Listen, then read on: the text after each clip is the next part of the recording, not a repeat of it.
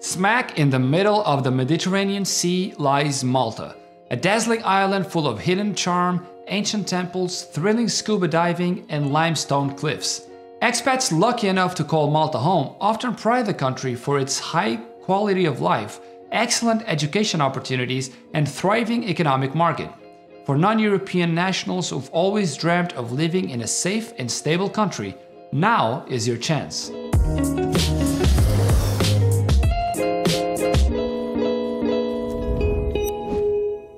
There, global citizens. My name is Pedro, and I'm with Global Citizen Solutions, a boutique investment migration firm helping expats to find their ideal citizenship by investment program outside their birth country. The Malta Permanent Residency Program, hereby referred to as MPRP, is a residency by investment program that allows qualifying and vetted applicants to obtain Maltese residency, provided that an investment is made in the nation. Along with gaining the right to settle and permanently live in Malta, the MPRP enables investors to take advantage of Malta's dynamic real estate market as well as pass residency onto family members. So, just how does the program work? Stick around to find out because you've guessed it. We'll be unpacking the MPRP for you from program benefits to costs involved and investment requirements. There are lots of reasons why the MPRP is a robust program, but it all goes back to what you're looking to get out of the whole ordeal.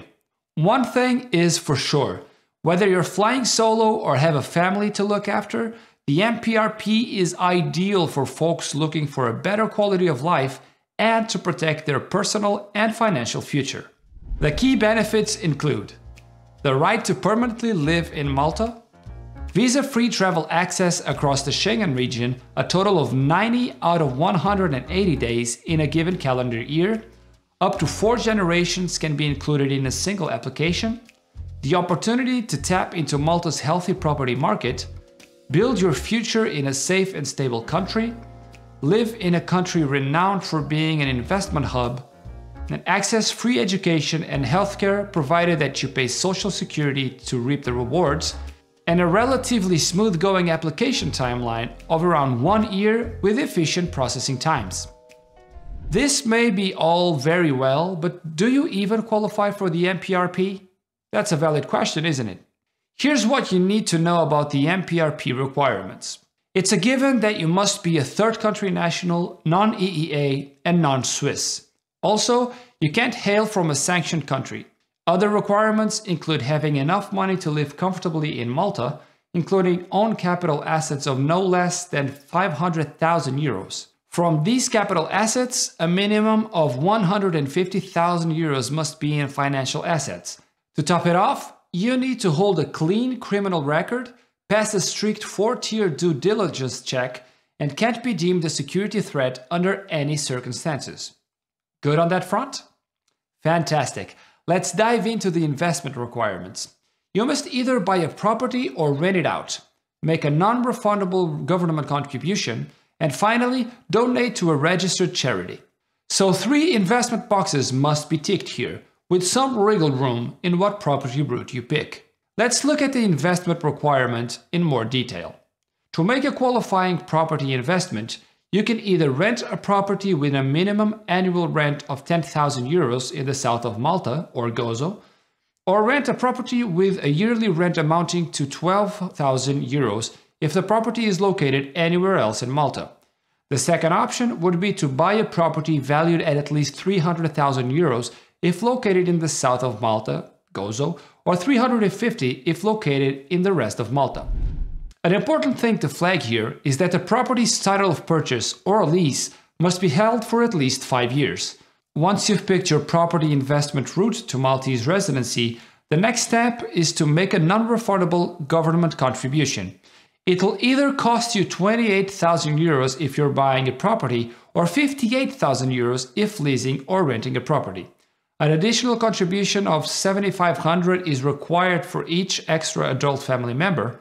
The final step is to donate at least 2000 euros to a local philanthropic, cultural, scientific, artistic, sports or animal welfare NGO registered with the Commissioner of Voluntary Organizations. Regarding the total investment cost, You're looking at either forking out 120,000 euros over 5 years if opting for the property rental route or 380,000 euros if opting for the property purchase route. In both instances, you save money if investing in the South Malta, Gozo. But surprise, there are extra application fees to consider and boxes to tick. In a nutshell, you must lodge your application with a licensed agent. You must pay admin fees starting from 40,000 euros for the principal applicant and spouse or children if added at the time of the application, and 7,500 extra for each additional adult dependent.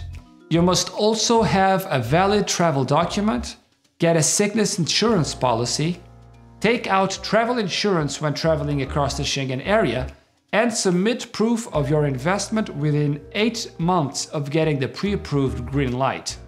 And there you have it.